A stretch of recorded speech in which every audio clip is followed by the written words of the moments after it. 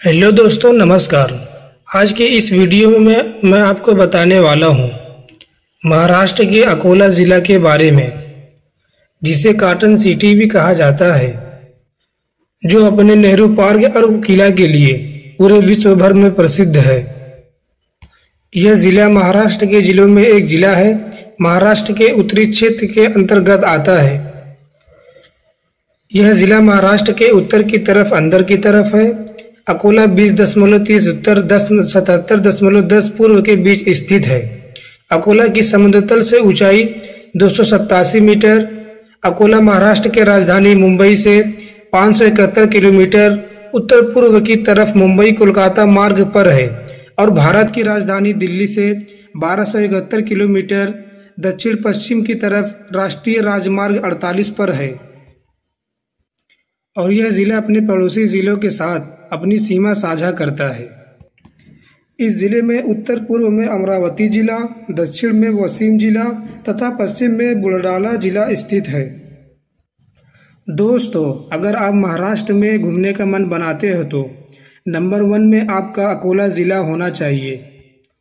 क्योंकि दोस्तों, इस ज़िला में शेवगांव मंदिर, शाहनूर किला और अकोला किला, नेहरू पार्क तथा राजराजेश्वर मंदिर भी स्थित है।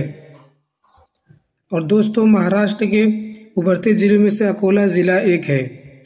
यहाँ पर आप कई प्राचीन और पर्यटनों के साथ साथ मंदिरों और नदियों के सैर कर सकते हैं। तो दोस्तों, इस वीडियो को शुरू करते हैं, लेकिन इससे पहले इस चैनल को लाइक और सब्सक्राइब ज़रूर कर लें।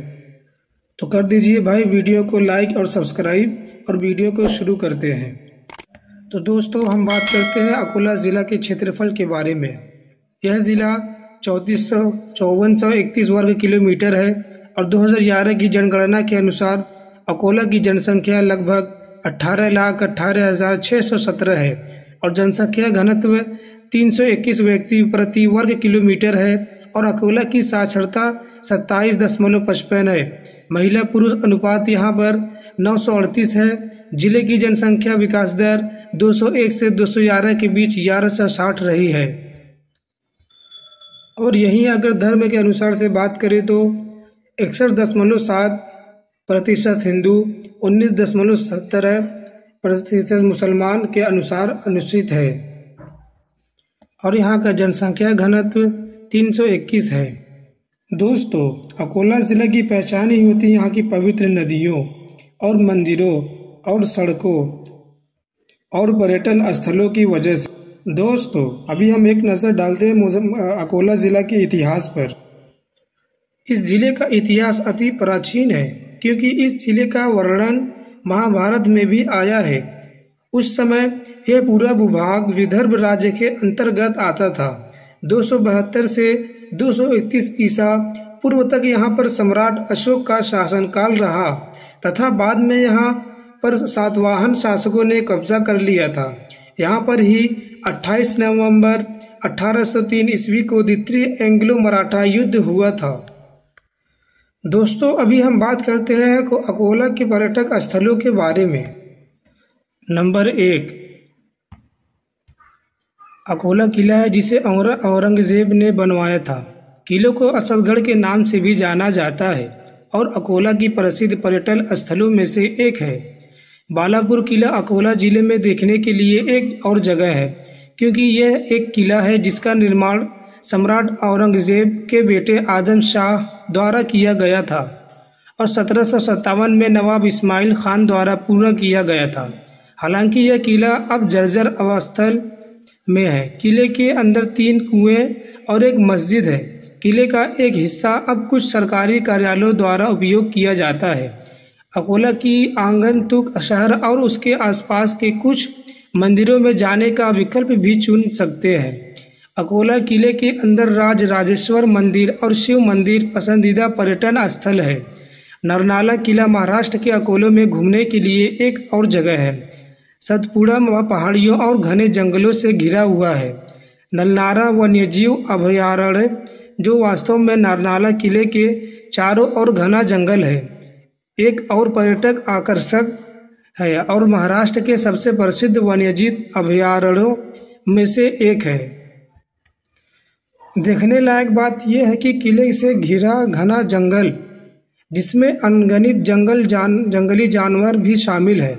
नरनाला किले तक पहुँचना एक अच्छा विकल्प है, क्योंकि यात्रा जाफराबाद किले की यात्रा भी कर सकते हैं, जो अकोला क्षेत्र में एक नज़दीकी नज़दीकी पर्यटन स्थल है।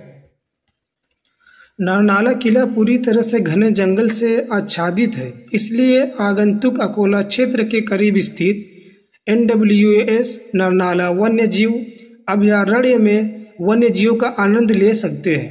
नरनाला का जंगल अपनी हरियाली के लिए विश्व प्रसिद्ध है और प्राचीन किला इसी यात्रियों के लिए एक और अधिक विशेष स्थान बनाता है। पार्क को 2 मई उन्नीस सौ सतानवे को आगंतुकों के लिए आवास और सफारी की व्यवस्था के लिए घोषित किया गया था।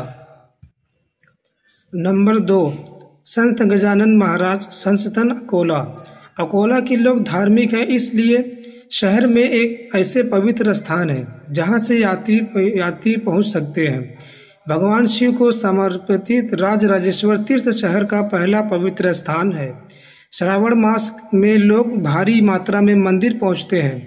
सोमवार को मंदिर जाना बेहतर होता है क्योंकि बड़ी संख्या में अनुयायी भगवान शिव की पूजा करने के लिए मंदिर पहुँचते हैं। संत गजानंद महाराजा ट्रस्ट गया संस्थान आगंतुकों के लिए शीर्ष स्थान है। इस ट्रस्ट में विशाल मंदिर है। हालाँकि यात्रियों को मंदिर तक पहुँचने के लिए विदर्भ क्षेत्र में जाना पड़ता है। लोग ट्रस्ट को विदर्भ क्षेत्र के पंडरपुर के रूप में भी पहचानते हैं। नंबर तीन, नेहरू पार्क अकोला ये उन लोगों के लिए जो ऐसी जगहों की तलाश कर रहे हैं, जहाँ आप भरपूर मनोरंजन और मनोरंजन कर सकते हैं। तो आप नेहरू पार्क में विकनिक की योजना बना सकते हैं। यह एक मनोरंजन और वाटर पार्क होने के लिए लोकप्रिय है। हालाँकि ही में जो, हाल ही में जो जोड़े गए आकर्षणों में संगीतमय फव्वारा, लेजर शो आदि शामिल है। भारत का पहला थ्री डी तारामंडल स्थापित करने के बाद यह शहर का गौरव बन गया। पार्क में लगभग 350 सीटों का स्टेडियम है। तो दोस्तों, अगर हमारा वीडियो अच्छा लगा हो तो आपको सब्सक्राइब ज़रूर करें।